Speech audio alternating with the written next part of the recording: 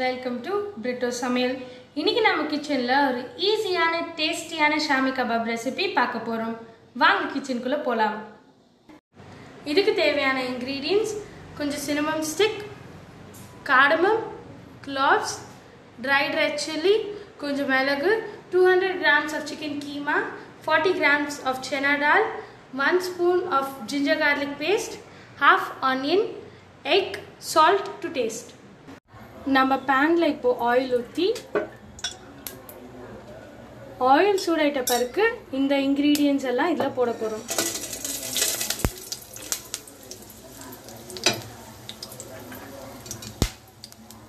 அப்புறம் நம்ம இதில் ஆன் அப்புறம் நம்ம இதில் ஆனியன்ஸ் போட போகிறோம் தென் நம்ம வச்சுருந்த ஜிஞ்சர் கார்லிக் பேஸ்ட் இதில் ஆட் பண்ண போகிறோம் நல்லா சாதே பண்ணிக்கிட்டு நம்ம வச்சுருந்த சென்னாடால ஆட் பண்ணலாம். இது நல்லா சாதே பண்ணிட்ட பிறகு நம்ம நம்ம வச்சுருந்த சிக்கன் கீமாவை இதில் ஆட் பண்ண போகிறோம்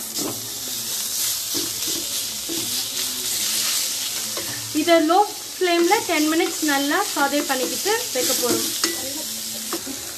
அப்புறம் நம்ம இதில் சால்ட் ஆட் பண்ணி டென் மினிட்ஸ் லோ ஃப்ளேமில் வைக்க போகிறோம் இதுக்கு இந்த ஸ்டெப்பில் வந்து எல்லோரும் சென்னா தாலை வந்து பாயில் பண்ணி போடுவாங்க.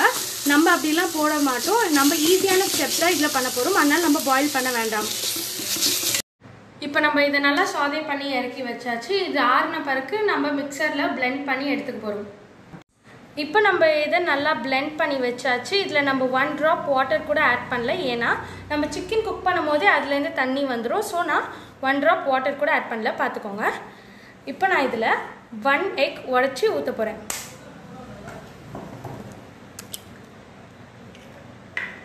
நான் இதை நல்லா மிக்ஸ் பண்ணி ஒரு டூ மினிட்ஸ்க்கு அப்படியே வச்சு அப்புறம் நம்மளுக்கு ஏற்ற ஷேப்பில் ஷாலோ ஃப்ரை பண்ணி வச்சுக்க போகிறேன் நான் இப்போ இதை இந்த ஷேப்பில் எடுத்து வச்சுருக்கேன். நம்ம இப்போ இதை ஷாலோ ஃப்ரை பண்ண போகிறோம் இப்போ நான் பேனில் ஆயில் ஊற்றி வச்சுருக்கேன். அப்புறம் நம்ம ஷாலோ ஃப்ரை பண்ண போகிறேன்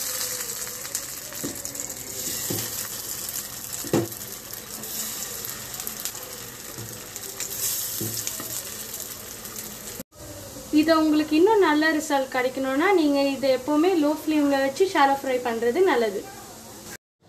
இப்போ நம்ம ஷாமி கபாப் ரெடி இந்த டிஷ்ஷை உங்கள் வீட்டில் கெஸ்ட் வந்தாங்கன்னா நீங்கள் ஈஸியாக செஞ்சு கொடுக்கலாம். இது ரொம்ப டேஸ்டியாகவும் இருக்கும். இந்த வீடியோ உங்களுக்கு பிடிச்சிருந்தா லைக் பண்ணுங்கள் ஷேர் பண்ணுங்கள் கமெண்ட் பண்ணுங்கள் மறக்காமல் சப்ஸ்கிரைப் பண்ணிவிட்டு பக்கத்தில் இருக்க பெல் ஐக்கானையும் கிளிக் பண்ணுங்கள்